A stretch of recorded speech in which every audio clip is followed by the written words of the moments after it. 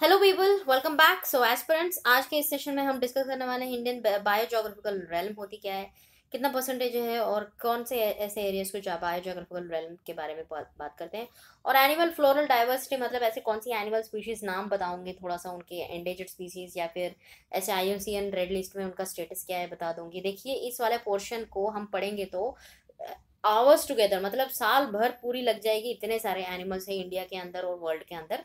तो जो current affairs में आ रहे हैं और जो प्रीवियस क्वेश्चन के तौर पे पूछा गया है तो उसको ध्यान में रखते हुए I have frame some animals उसको ही डिस्कस करेंगे और मैराइन ऑर्गेनिज्म के बारे में भी थोड़ा पढ़ लेंगे। आगे जाने से पहले आपको बता दो पर्सनल गाइडेंस प्रोग्राम के बारे में। Hindi and English medium students के लिए दोनों के लिए है। अरोड़ा सर एक्सपीरियंस मेंटर के द्वारा आप एक गाइडेंस ले सकते हो step by step hand holding approach ताकि कंप्लीट पूरा ऑनलाइन डेली स्टडी प्लान होगा। आपको आपको कहीं इधर उधर शिफ्ट करने की ज़रूरत नहीं है।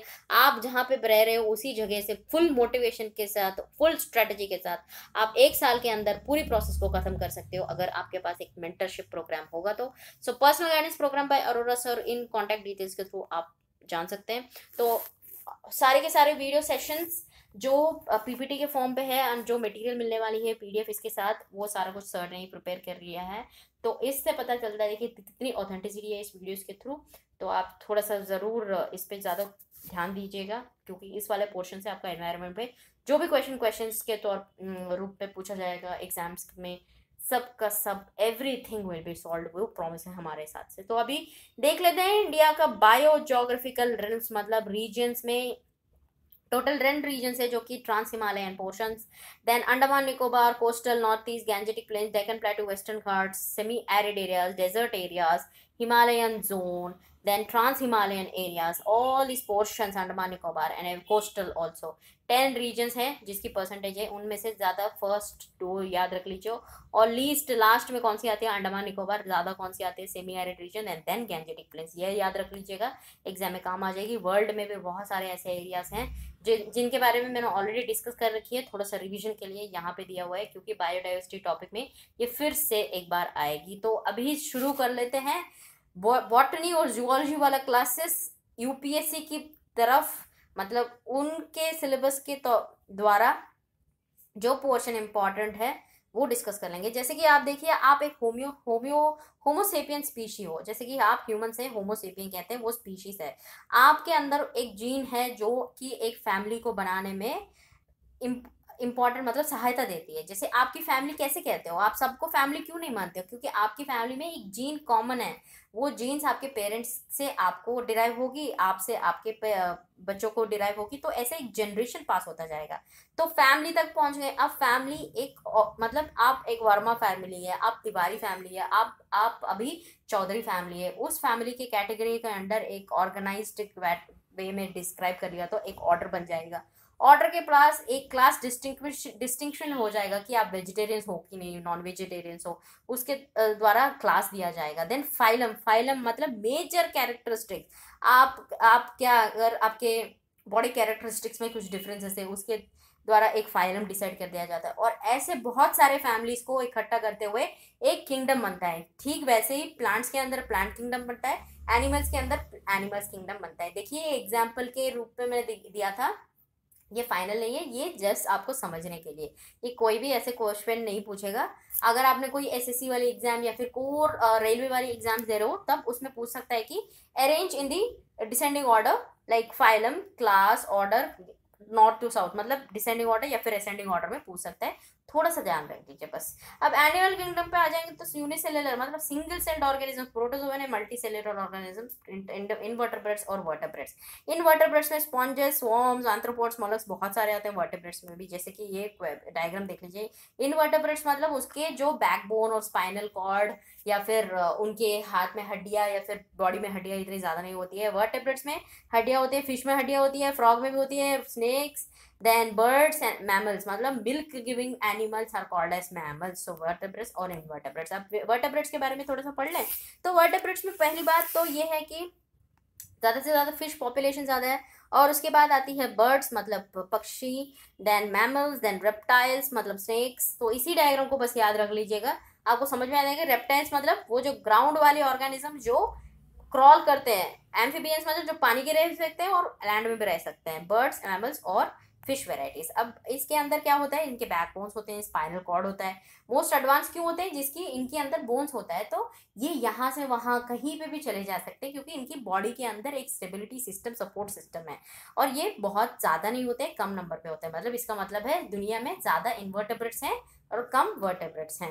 और वर्टेब्रेट्स में ये वाले कैटेगरीज हमने देख लिया, अभी इनवर्टेब्रेट्स में इन सारे कैटेगरीज के बारे में देख लेते हैं। एक एक पढ़ के बताऊँगी, आप देख लीजिएगा। पहले एनालिड्स के बारे में बताऊँगी। एनालिड्स है ही कहाँ? जैसे रिंग वॉर्म जैसा छोटा सा वॉर्म जैसा एनिमल तो इसके सेगमेंट्स होते हैं बॉडी लिम्स मतलब पैर कुछ नहीं होता है अर्थवॉर्म लीचस जैसे ऑर्गेनिज्म जैसे कि ये वाला पोर्शन जो मैंने हाईलाइट कर रखी है। अब मोलस देखिए मोलस मतलब ऐसे कौन से ऑर्गेनिज्म स्नेल्स मतलब जिसके बॉडी के ऊपर एक शेल की तरह एक स्ट्रक्चर होती है, जैसे कि ऑयस्टर म्यूजल स्क्विड एक स्नेल या स्लग एक्नोडम देखिए एक्नोडम का क्या होता है? स्टारफिश की तरह मतलब आर्म्स होती है जिसकी जा, सेंटर बॉडी से रेडिएट करते हुए आर्म्स मतलब बहुत सारे हाथ होती हैं इसकी, जो स्टारफिश एक्नोडम्स कहते हैं। Then protozoan single celled organism जैसे कि फाइटोप्लैंक्टन हो गया अमीबास हो गए माइक्रो छोटे छोटे एल्गे हो गए, जो सिंगल सेल्ड ऑर्गेनिजम्स हैं। अब आते हैं फाइलम एंथ्रोपॉड्स एंथ्रोपॉड्स मतलब अभी फाइनल फाइलम क्या हो गया? एक family group of family members मतलब इन सबके कैटेगरीज क्या हो गए? आगे एक दो एंटीनास होते हैं। जैसे देखिए बटरफ्लाई के भी दो एंटीनास आगे हैं और पीछे की तरफ़ क्या है, इनकी थोड़ा सा बॉडी बटरफ्लाई की तरफ़ देखिए साइड में कुछ सपोर्ट सिस्टम होता है लेग्स हो सकती है जो मोबिलिटी देती है। वो इन सब में कॉमन है। इसीलिए इनको इनवर्टेब्रेट्स वाले कैटेगरी में एंथ्रोपोड्स में रखा है, जिसकी जॉइंट्स और पैर होते हैं। देन एक्सटर्नल स्केलेटन होता है, इनको तीन कैटेगरी में डिवाइड कर रखी है। एक तो क्रस्टियंस हैं, जिनकी बॉडी के ऊपर बहुत ही हार्ड शेल मतलब एक क्रैब कभी देखा तो अपने बीच में जाते हुए या फिर कहीं पे भी फ़ोटोज़ में भी देखा होगा तो ऊपर के हड, एक हड्डिया जैसी ना, एक हार्ड शेल जैसी होती है। इंसेक्ट्स देख लिए इंसेक्ट्स का बॉडी थ्री तीन पार्ट में और छः लेग होते हैं इनके, जैसे कि praying mantis butterfly moth beetle and all that अब एरेक्निट्स देखिए arachnids are common animals like spiders spiders जिसके फोर पेयर्स ऑफ़ लेग्स होती हैं और दो बॉडी पार्ट्स होती हैं। तो इन्वर्टब्रेट्स इन्वर्टब्रेट्स इन्वर्टब्रेट्स होने के बाद अब आते हैं मेरन और एनिमल्स के बारे में। गैंजेटिक मेरन एनिमल गैंजेटिक डॉल्फिन एक मेरन एनिमल है जो फ्रेश वाटर में पाई जाती है इंडिया बांग्लादेश नेपाल पाकिस्तान और एक दूसरा होता है इंडस रिवर वाटर डॉल्फिन भी जो पाकिस्तान बी एस सतलज रिवर्स में पाए जाते हैं। Then herbivorous marine mammals जो कि डिगोंग जैसा एनिमल जो सी का कहते हैं, ये वनरेबल वनरेबल स्टेटस में है आईयूसीएन स्टेटस में। अब आते हैं मैनेट्स वाले ऑर्गेनिज्म में, जहाँ पे फिशिंग और हैबिटेट डिग्रेडेशन की वजह से इसकी भी बहुत सारा थ्रेट हो रही है।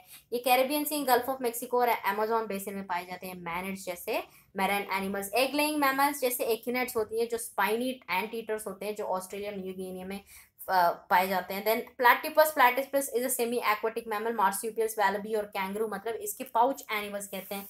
क्योंकि आपने कभी कैंगरू देखा होगा तो इसके पेट के पेट के बाहर एक पाउच जैसा होता है जिसमें उसकी बेबी को कैरी करती है तो उनको मार्सोपियल्स कहते हैं।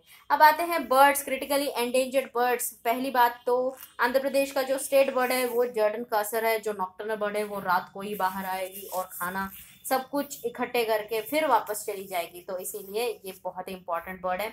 तो ये scrub jungle flag flagship species है मतलब इसके कारण ही बहुत कुछ फ़ूड चेन वहाँ पे चलती है। एंड इसकी डिस्ट्रीब्यूशन आंध्र प्रदेश एंडेमिक है मतलब वहीं पे पाया जाता है, इसीलिए इसको फ़र्स्ट कैटेगरी में रखा है। कभी भी पूछ सकते हैं mostly state animals and birds ही पूछते हैं। उसके आसपास में मतलब कुछ रिलेटेड क्वेश्चन ही ज़्यादा पूछते हैं। तो थोड़ा सा, आपके स्टेट का एनिमल क्या है? एनिमल या प्लांट या फिर एक्वेटिक एनिमल फ्रूट वो सब कुछ ध्यान में रख लीजिए।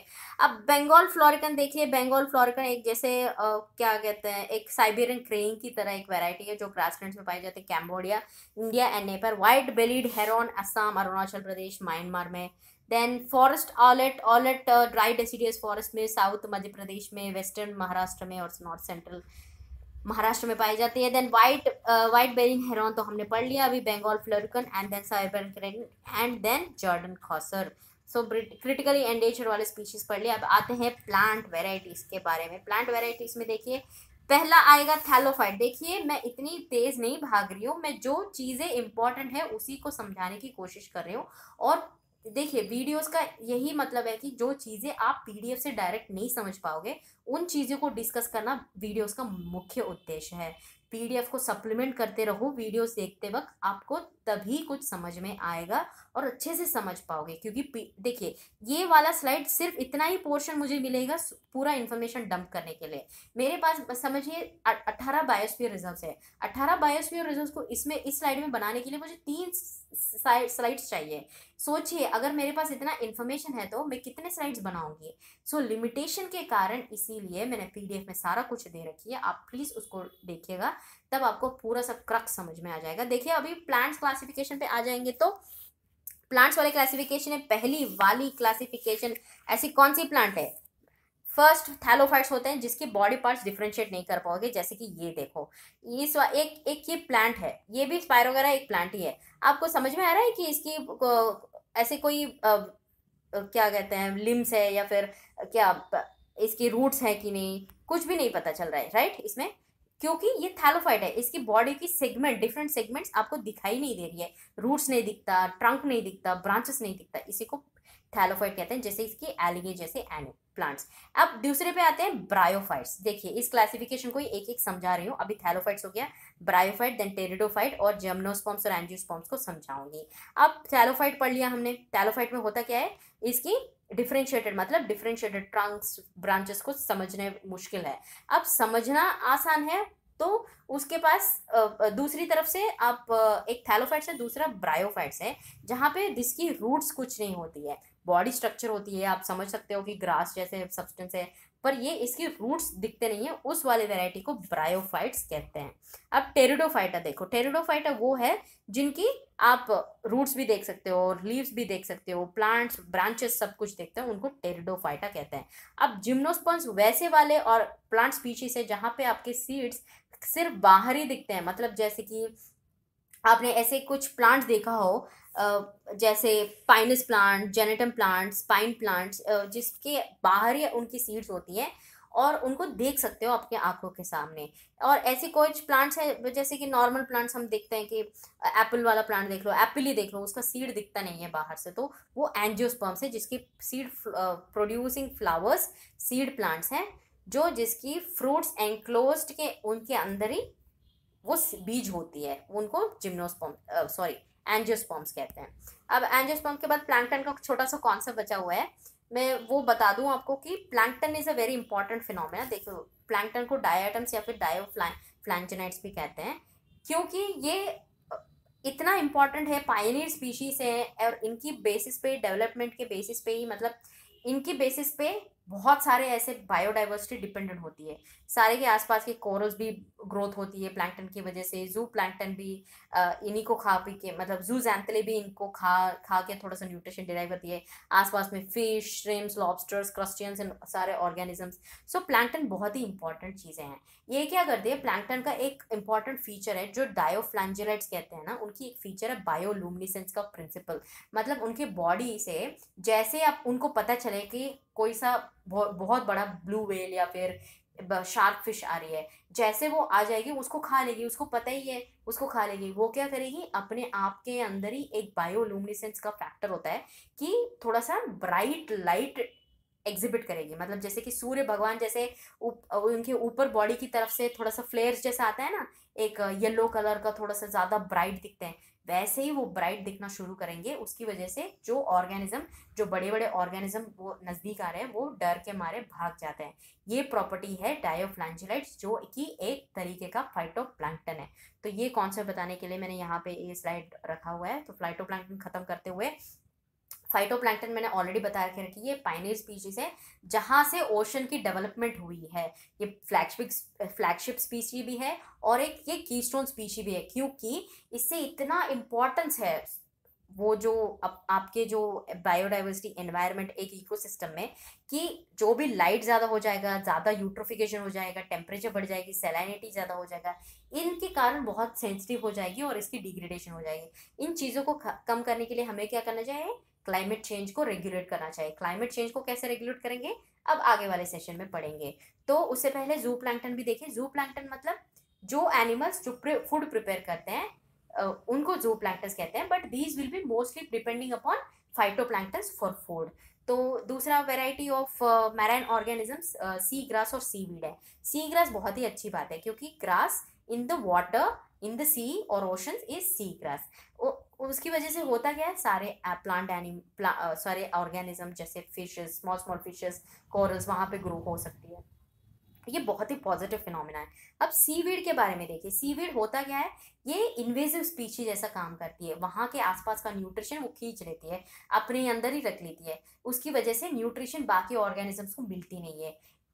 इसके कारण seaweed is a very negative phenomena ये होते हुए न्यूट्रिशन नहीं मिलेगी वो, उस सिस्टम का बायोडाइवर्सिटी लॉस हो जाएगा sea grasses are the positive thing तो नी, अभी आते हैं कुछ ऐसे करंट अफेयर्स वाले पोर्शन के बारे में, जहाँ पे प्लांट स्पीशीज के बारे में, अभी इस 20 साल में अगर पेपर में देखोगे यूपीएससी के हिस्ट्री में, कि एनवायरमेंट और इकोलॉजी पोर्शन से वो क्वेश्चंस पूछा गया है, जो भी, जो कि बहुत ही यूनिक फिनोमेना हुआ हुआ, जो करंट अफेयर्स में आई हुई है, उसी के बारे में ज़्यादा पूछते हैं। तो आजकल के जो 2018 में नील कुरिंजी ईयर कहा गया था, क्योंकि ये जो प्लांट्स देख रहे हो ना, ये छोटे छोटे श्रब्स ही हैं, इतने छोटे छोटे मतलब जो छोटे, एक साल का बच्चा जितना होता है, उतनी हाइट की होते हैं, पर ये बारह साल में एक ही बार ये फ्लावर्स आती है।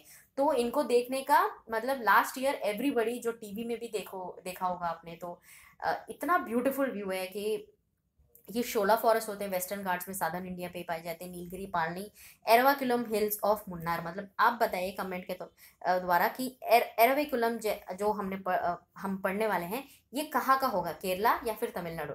थोड़ा सा थोड़ा सा डिस्कस करने का कोशिश कीजिए कमेंट बॉक्स में। तो नील कुरिंजी, हो गया? अभी सीमाई करोवेलम देखते हैं। सीमाई करोवेलम होती क्या है?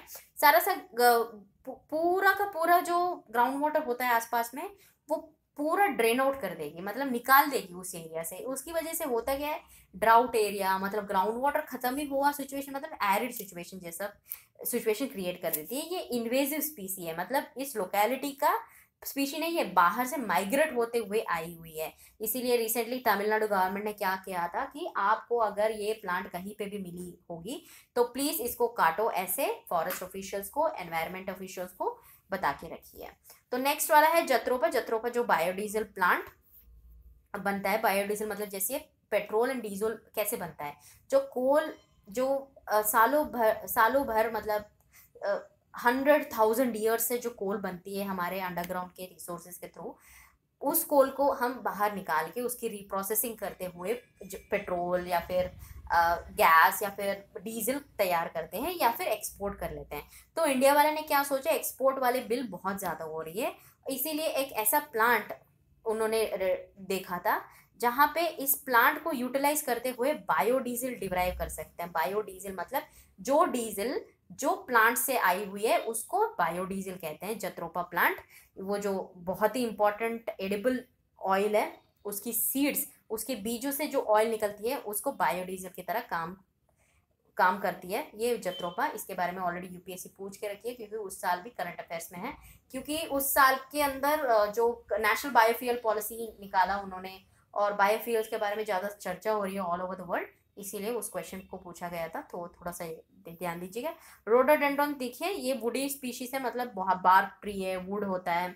ये अरुणाचल प्रदेश अनामलाई पालनी हिल्स पे भी पाया जाता है रोडोडेंड्रॉन एंडेमिक वेस्टर्न गार्ड्स पे ये ज़्यादा से ज़्यादा आपको देखने का मौका मिलेगा ओक ट्रीज भी और रोडोडेंड्रॉन्स भी। ये हायर एलिवेशन में पाए जाते हैं। Then khejri tree khejri tree Rajasthan का स्टेट ट्री है। ये थोड़ा सा सीमाई करुवेलम की तरह दिखती है। पर दोनों का बहुत ही डिफरेंस है। सीमाई करुवेलम और Tamil Nadu state is very very bad क्योंकि वो पा, पानी को खींच लेती है अपने आप आप आप आसपास। उसकी वजह से ग्राउंड वाटर खत्म हो जाता है। पर ये केजरी ट्री बिश्नोई ट्राइब बहुत मानते हैं इस इस ट्री को। बिश्नोई ट्राइब कौन है? राजस्थान के ट्राइब्स बिश्नोई ट्राइब है, ये बहुत मानते हैं इस ट्री को क्योंकि इसको इसीलिए कल्पतारू ट्री भी कहते हैं क्योंकि ये क्या करती है, ये पूरी सैंड को एकदम मज़बूत करके रखती है एक जगह पे, जिसकी वजह से सॉइल इरोजन उस वाले रीजन में सैंड ड्यूज फॉर्मेशन ना होने के कारण प्रिजर्व कर लेती है इकोसिस्टम को, इसीलिए इस ट्री का बहुत मानते हैं बिश्नोई ट्राइब अब क्लस्टर गौर बीम देखिए, इस वाले सीड्स को निकाल के वो जो सीड्स को यूज़ करते हुए उसको फॉर्डर मटेरियल की तरह यूज़ करते हैं। फॉर्डर मतलब जो दाना होता है, जिस जो मिल्क गिविंग एनिमल्स होते हैं, जैसे कि goat buffalo cow and all this उसको फॉर्डर की तरह इसकी इसकी बीज जो होती है, इनकी बीन्स जो निकालते हैं, उसको यूज़ करते हुए फॉर्डर मटेरियल यूज़ करते हैं। ये भी क्वेश्चन था पिछले साल। पिछले साल इसीलिए क्वेश्चन मतलब पिछले साल इन द सेंस कि बहुत पहले का क्वेश्चन था। उस साल क्या हुआ था? शेल गैस भी चल रही थी कहीं यूएस के जगह पे और रशिया के जगह पे आर्कटिक ओशन में भी शेल गैस की ड्रिलिंग हो रही थी। इस वाले प्लांट का जो सीड निकालने का तरीका है ना उसको कहते हैं फ्रैकिंग फ्रैकिंग टेक्निक वही होता है कि एक under pressure under high pressure वो सीड का जैसे उससे ऑयल निकालता हो या फिर उस सीड को निकालना हाइड्रोलिक फ्रैकिंग जो शेल गैस के ऊपर प्रोसेस यूज़ करते हैं, ठीक वैसे ही प्रोसेस यूज़ करते हैं। इसीलिए क्वेश्चन उसी तरफ़ से पूछा गया था। तो नेक्स्ट वाला ट्री बबोब ट्री और जो बॉटल ट्री भी कहते हैं, ये Africa Australia India largest and longest living tree इसका कुछ खासियत है, कभी भी पूछ सकते हैं तो लिख सकते हो आप। और then hemp tree hemp tree मतलब मार्जुआना जो ड्रग्स वाले लोग हैं, जो नशा, नशे में रहते हैं ड्रग्स और जो एनेस्थीसिया के ड्रग्स में यूज़ करते हैं, वैसे वाले प्लांट्स हेम्प प्लांट्स है जो मतलब बहुत एंसेस्ट्रल प्रॉपर्टी है कि एंसेस्टर्स मतलब बहुत ट्राइबल एरियाज़ और बहुत सालों से इनकी एग्रीकल्चर चल रही है, जिसकी हेल्थ और ऑर्गेनिक बॉडी केयर के लिए बहुत कुछ फ़ायदा हुआ है इस प्लांट के थ्रू तो ये हेम्प प्लांट है। बैम्बू तो बचपन से देखते ही आ रहे हैं, एक एवरग्रीन प्लांट है ये। ट्रॉपिकल टू टेम्परेट रीजन्स में पाए जाते हैं। मिजोरम का स्टेट का bamboo tree is state tree of Mizoram and then ये वाटर पोल्यूशन को रिड्यूस कर दिया है। अब मैक्रोफाइट्स देख लीजिए, जहाँ पे भी वेटलैंड्स होगा ऑलरेडी मैंने डिस्कस कर रखी है कि लेक्स और वेटलैंड्स का डिफरेंस यही है। अगर लेक्स में आपको फाइटोप्लैंक्टन मिलेगा तो वेटलैंड्स में आपको मिलेगा मैक्रोफाइट्स मैक्रोफाइट्स का अर्थ यही है कि जो फ्लोटिंग प्लांट्स जो पानी के अंदर होता है, उसको मैक्रोफाइट्स कहते हैं, जहाँ पे बहुत सारे ऑर्गेनिजम्स उनके घर बना के वहीं पे बसाती है पूरी जगह को मतलब पूरी उस जगह को। तो उस रीजन बहुत ही ज़्यादा ऑक्सीजन और फ़ूड अवेलेबिलिटी होता है। मैक्रोफाइट्स बहुत ही इंपॉर्टेंट रोल प्ले करते हैं वेटलैंड्स वाले एरिया में। तो अभी प्रीवियस क्वेश्चन सॉल्व कर ले। अभी फ्लाइटो प्लांटन खत्म हो गई है एक ओशन में, उसकी वजह से होता क्या है? अब देखिए, पहले दो ऑप्शंस में ओशन कार्बन सिंह की तरह काम करना बंद कर देगी। जी हाँ बिकॉज़ फाइटो प्लांटन मैंने ऑलरेडी बोल रखी है कि ये पाइनी स्पीशी है, जिसके वजह से ओशन डेवलप हुई है। अगर ओशन में फाइटो फाइटोप्लांटन ही खत्म हो गई तो कार्बन स्टोरेज कैसे होगा? वो फ़ूड कैसे प्रिपेयर करेंगे? खत्म तो पहली बात सही है। सेकंड वाली option food change in the ocean would be adversely affected सही है, क्योंकि फ़ूड फाइटोप्लांटन हमने देख के रखा है कि जो ऑर्गेनिजम्स आसपास से आती हैं, वो सारा कुछ फाइटोप्लैंक्टन को खा पी के ही बड़ी होती है तो फ़ूड चेंज भी खत्म हो जाएँगे अगर फाइटोप्लैंक्टन खत्म हो गया।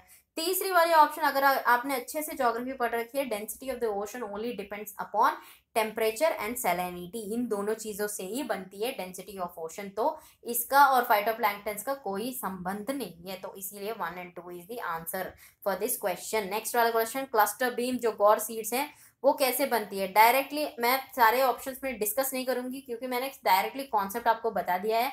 तो answer is the gum prepare from the seeds from the from the extraction of shale gas shale gas की तरह यूज़ करते हैं. एंड देन नेक्स्ट सेशन में हम डिस्कस करने वाले हैं प्रोटेक्टेड एरिया नेटवर्क मतलब अभी तक हमने बायोडाइवर्सिटी का कोर टॉपिक्स पढ़ लिया. मतलब बायोडाइवर्सिटी होती क्या है? कितनी लेवल्स के बायोडाइवर्सिटी हैं?